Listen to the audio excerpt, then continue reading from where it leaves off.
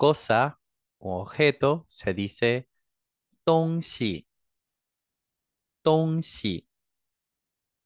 Tongxi. La frase que te voy a poner como ejemplo es la siguiente. El fin de semana no deseo ir a la tienda a comprar cosas. Zhou Mo. Wo bu xiang chu. Shang dian mai dong. 周末我不想去商店买东西。